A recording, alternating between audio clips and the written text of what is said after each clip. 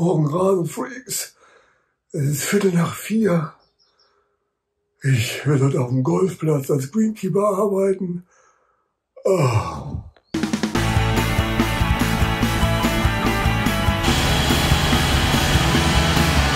Ja, liebe Rasenfreaks, wir haben heute etwas Verrücktes vor. Wir werden heute einen Greenkeeper begleiten auf dem Golfplatz und da muss man natürlich früh aufstehen. Es ist hier jetzt halb fünf.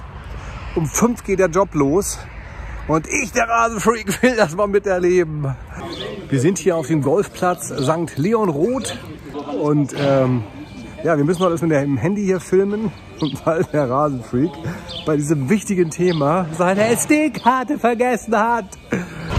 So, Rasenfreaks, Mirko muss heute die Black Tees mähen und dazu holt er sich jetzt einen Handspindelmäher. Ja, Leute, zieht euch das mal rein. Zieht euch das mal rein. Die ganzen Handspindelmäher, yeah! Wahnsinn!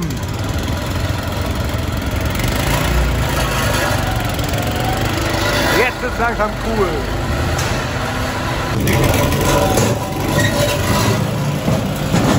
Ja, lieber Radfix, eine Maschine 30 bis 40.000 Euro. 30 bis 40.000 Euro, 30 bis 40.000 Euro, 30 bis 40.000 Euro, 30 bis 40.000 Euro. Klick, klick, klick, klick, klick, klick, klick, klick, klick, klick, klick.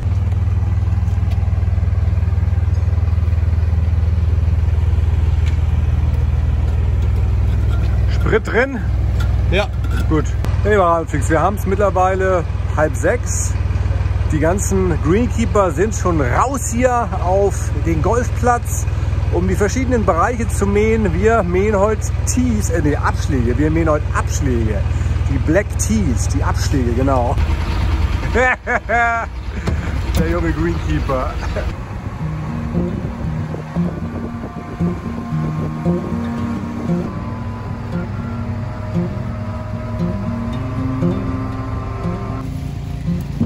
Also wenn du das trinken willst, ja, nimm dir. Ich hab jetzt.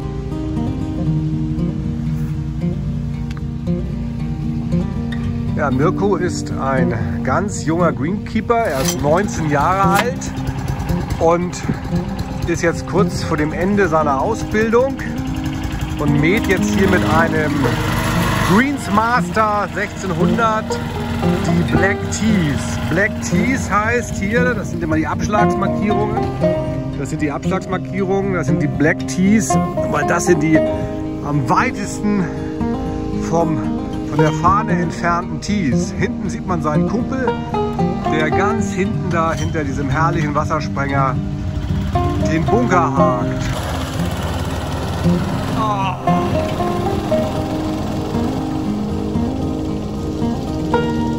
was ist das krass gewachsen?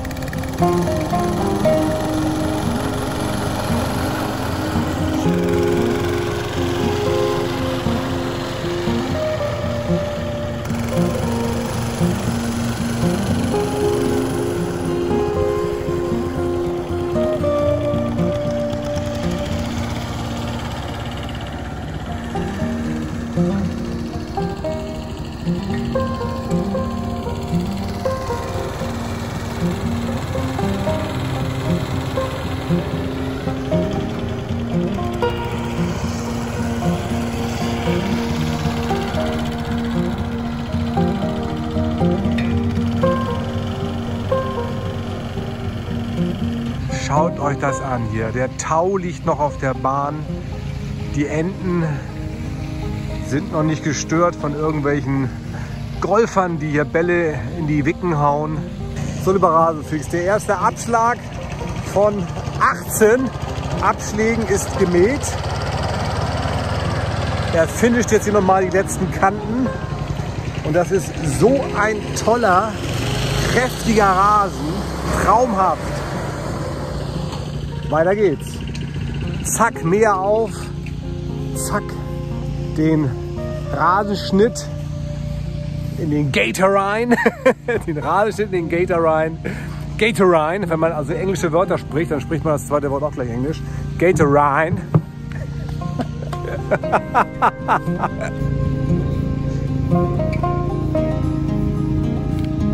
Gut, er richtet jetzt die Abschlagsmarkierungen auf, aus. Was so schief? ja, das ist jetzt der Abschlag für die Profis, das Black Tea. Äh, der halbwegs gute Golfer, so wie ich, der spielt jetzt vom orangefarbenen Abschlag und der liegt halt zwei Felder weiter vorne. Es ist wirklich noch recht frisch heute Morgen. Unglaublich. Es wird ein brütend heißer Tag, 27 Grad. Aber noch ist es herrlich. Es ist eine fantastische Luft. Oh.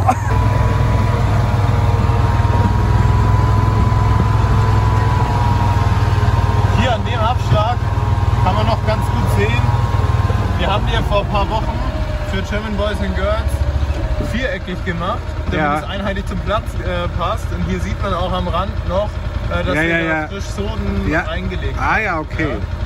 Oh wow. Genau. So, lieber Rasenfreaks, das ist jetzt ein wunderschön neu gemachter Abschlag. Das Black Tea für, den, für die Bahn 18. Schick hier mit so einer Holztreppe. Man schreitet also hier hoch, genießt diese unfassbare Parklandschaft.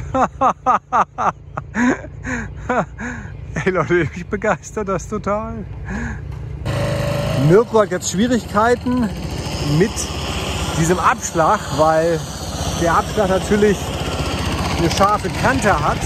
Uh, uh, uh. Ja, die Maschine ist nicht ganz ohne. Wenn die läuft, dann läuft sie.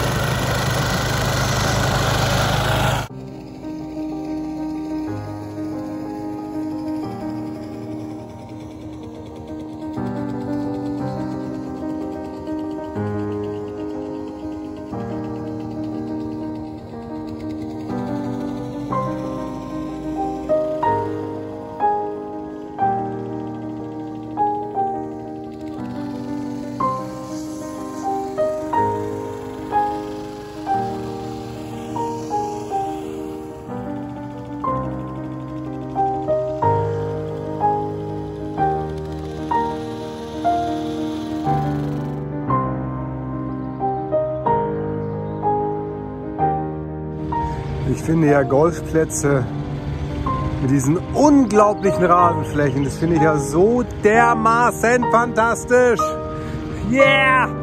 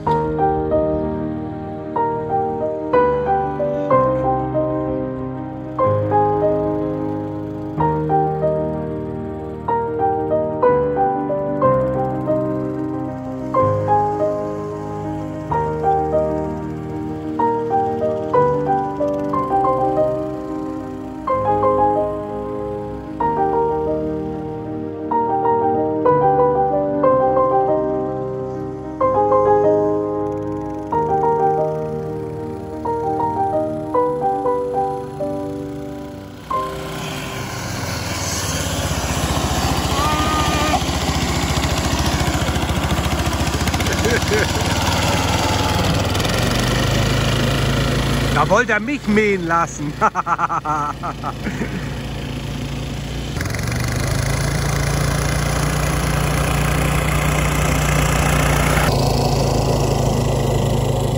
Aber auch eine Profimaschine schneidet nicht alle Halme ab.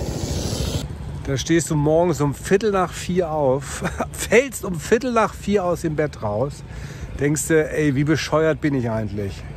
Dann bist du da irgendwann wach, Huch, dann bist du, dann bist du irgendwann wach und stehst auf dem Golfplatz, schmeißt dein Rasenmäher an und mähst hier das fette grüne Gras. Junge, Junge, Junge. Wahnsinn!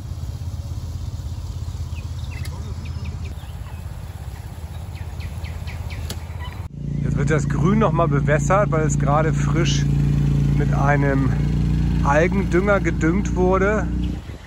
Der Regenbogen im Wassersprenger.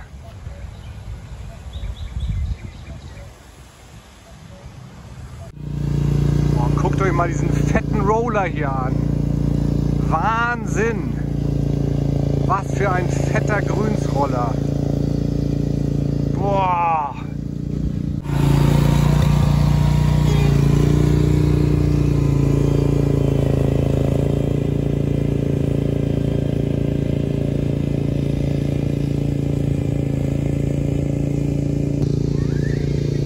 Ich bin Italien, guck. Ja, super. So, hier seht ihr hier zwei, zwei ganz alte und erfahrene Greenkeeper. Ja, wie heißt du? Pasquale. Pasquale ist schon 22 Jahre dabei. Jawohl. Wie lange bist du dabei? Ja, ich bin noch nicht so lange Du bist so lange dabei. Hier, Pas- Pasquale. Ja. Wie ist das hier? Wie ist das hier? Vital. Wie in Italien. Wie in Italien. Yeah.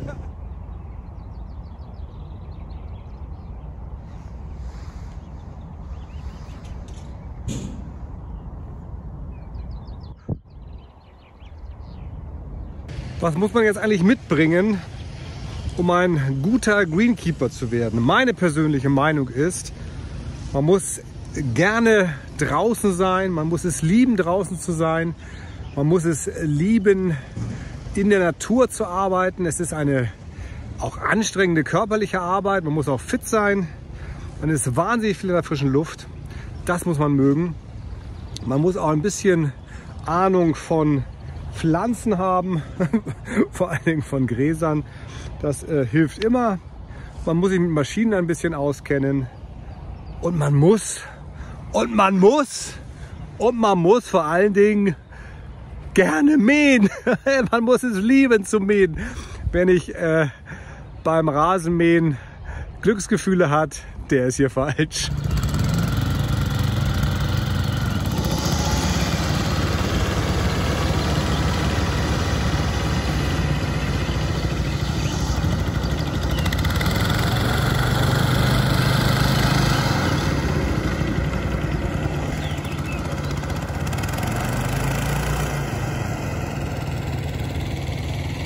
Kann man denn nun Greenkeeper werden?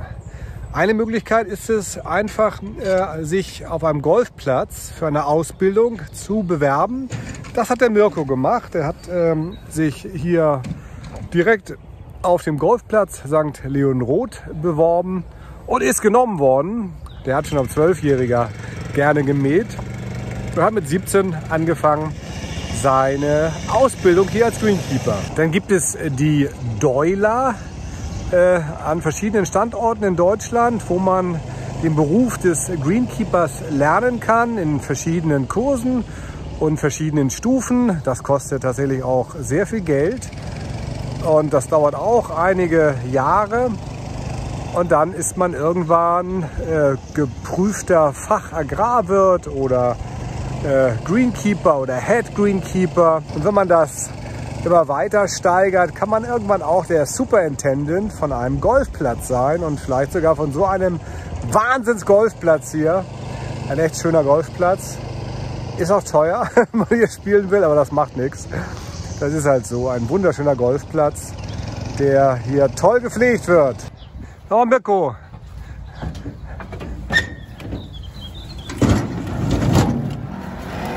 Warum bist du denn Greenkeeper geworden? Ähm, ich bin Greenkeeper geworden. Ich mache das schon seit äh, circa zehn Jahren daheim bei mir im Garten. Hat angefangen mit dem Spielzeugrasenmäher. Habe ich meinem Papa hinterher gemäht. Als ich das dann selber machen konnte, habe ich das so gut es ging gemacht. Ich habe mit YouTube angefangen. Die ein oder anderen wird das vielleicht schon was sagen. Vielleicht kennen mich ein paar Leute. Ähm, schreibt's gerne mal in die Kommentare. Das wird mich mal echt interessieren. Ähm, und ja, dann ähm, habe ich Andreas äh, auf YouTube gesehen. Ich habe Kontakt mit ihm aufgenommen. Ich habe ihn dann vor circa zwei Jahren besucht auf einer Deutschlandtour. Und äh, er sagte mir, dass äh, hier der Golfclub St. Leonroth ausbildet. Und da war ich gerade im Urlaub. Das waren noch so zwei, drei Tage vor Bewerbungsschluss. Und Genau. am letzten Tag habe ich da die Bewerbung runtergerattert. Und die wurde so perfekt, weil ich es aus, aus meinem Herz raus geschrieben habe. Und ähm, ja, dadurch bin ich hier gelandet. Also ich habe das dem Andreas zu verdanken wirklich, dass ich hier diese Stelle gefunden habe und dass ich hier diese Ausbildung machen kann. Das muss man wirklich dazu sagen.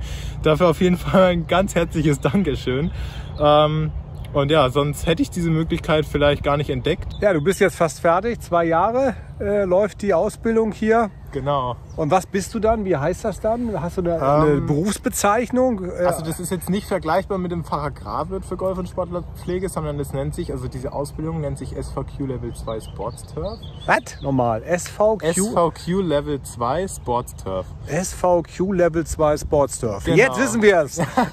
okay. Genau, das läuft über das Elmwood College in Schottland. Ah. Die schreiben mir sozusagen diese Ausbildungsinhalte vor, die sind auf Englisch. Und Uh, muss man auch Englisch können? Ja. Ein bisschen. Ist schlecht, wenn man es nicht kann. wie Oha. Ja, Ich. Ja, also. ein bisschen geht schon, aber es ist, äh, man lernt da schon ein bisschen dazu. Aber das ist gut so, weil Sehr cool. Ja. So, und jetzt musst du weitermähen. ganz genau, weiter geht's. Yeah! Da kommt er! Yeah! Jetzt geht's ab!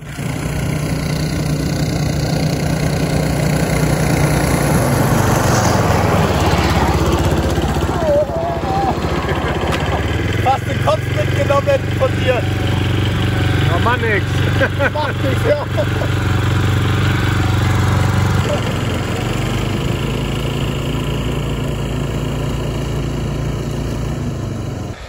Oh, guckt euch das mal hier an, wie schick das jetzt hier ist. Traumhaft. Das ist ja auch ein fantastisches Bild. Und hier wird gerade ein kleiner Schutzwall gebaut gegen die Kröten, damit die Kröten hier nicht aus dem Wasser rauskommen und über das Fairway laufen, wenn hier gemäht wird. Das ist dann nicht so schön.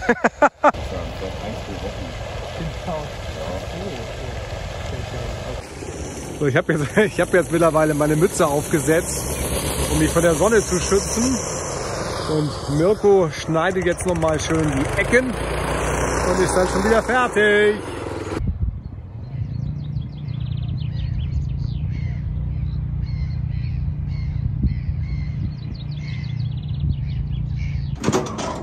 Oh, oh, oh. Rasenfix, großes Drama. Wir müssen noch mal nachmähen. Hier, dieses eine, dieser eine Abschlag, der hat auch einen anderen Rasen. Der sieht wirklich wie nicht gemäht aus. Hammer. Ich zeige euch das mal. Der hat hier viele Gräser stehen gelassen, der Mäher. Und das ist natürlich nicht der Anspruch, den wir hier haben wollen. Also da muss man noch mal ran, der Mirko. Da muss man noch mal ran.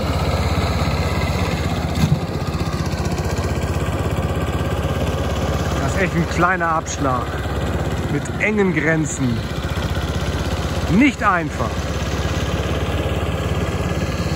Da werden nur die wahren Profis rangelassen.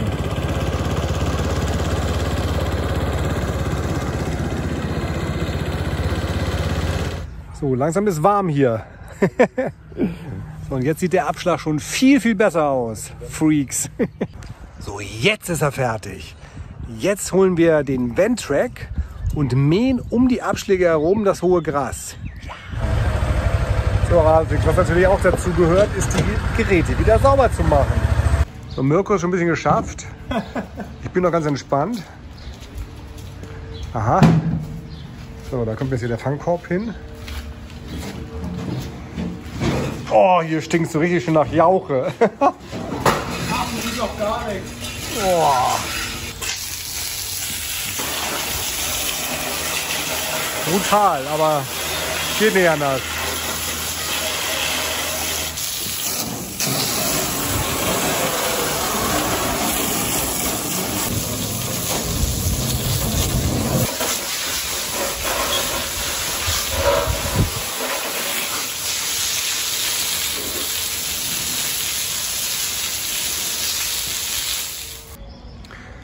So Freaks, das ist der Van Track.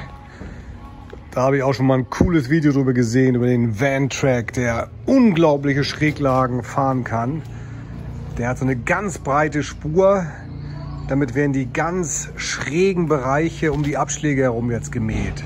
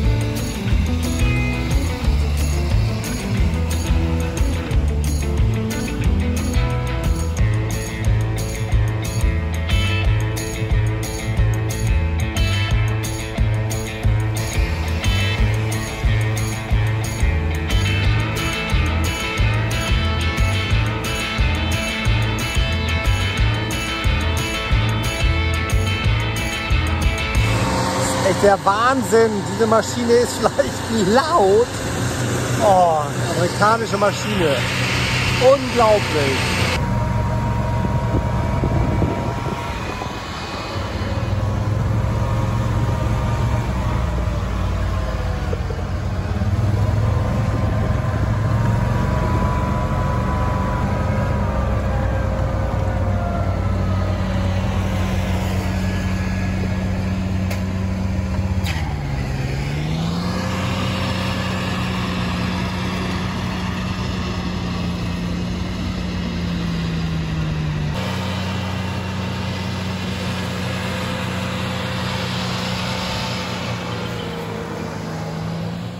Ja, lieber Ramsig, langsam ist so der Spielbetrieb hier aufgekommen. Wir haben jetzt 10 Uhr und die ersten Golfer laufen hier über die Runde.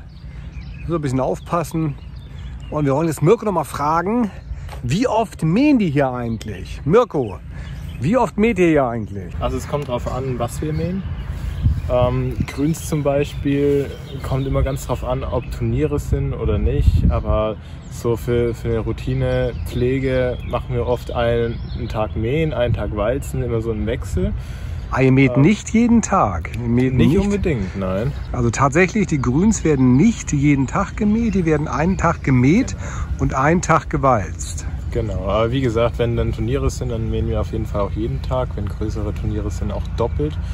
Oder auch abends nochmal doppelt, mit Walzen hinterher. Also doppelt mähen morgens mit Walzen, doppelt mähen abends mit Walzen. Boah. So bekommen die Grüns richtig Speed. Das ist das, was die Golfer wollen, die Profis. Und äh, dem versuchen wir dann auch gerecht zu werden.